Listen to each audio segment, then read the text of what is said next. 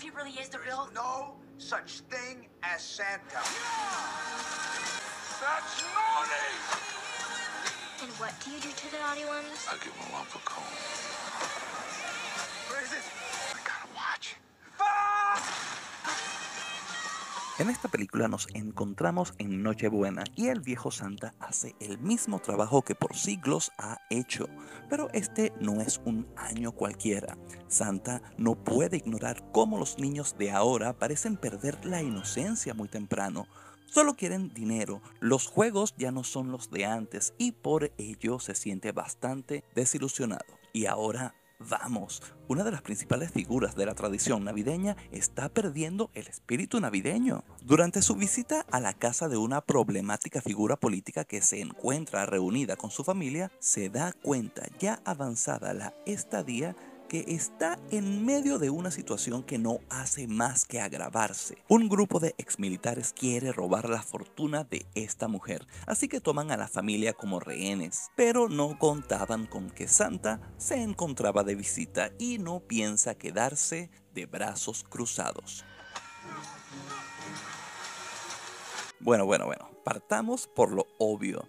Esto simplemente es un absurdo que pretende llevarnos a una loca posibilidad dentro de uno de los mitos más puros y nobles, el gordinflón regaloneando a los niños buenos. Pero vamos a llevarlo a un plano real.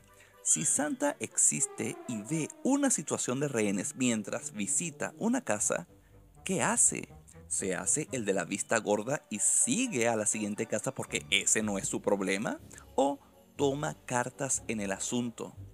Solo adelantaré un par de cosillas. Cosilla 1, tenemos gore, sin exagerar, pero insisto, la sangre está garantizada.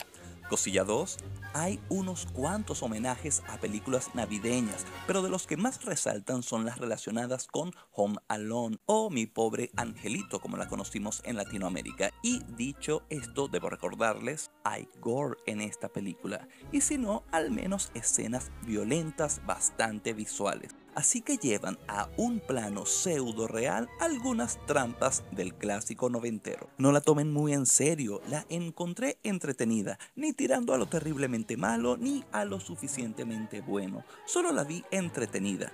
Quería ver cómo todos saldrían de esta situación, a dónde llegaría la locura y el viaje de Santa en su desarrollo como personaje. Y en ese sentido, pues me funcionó sin llegar a la excelencia. Violent Night o Noche sin Paz, como fue traducida para Latinoamérica, se encuentra disponible en cines y por lo menos yo la vi por los caminos verdes. Busquen la aplicación Dark Play, se las recomiendo una vez más. Eso sería todo, nos vemos en otra oportunidad.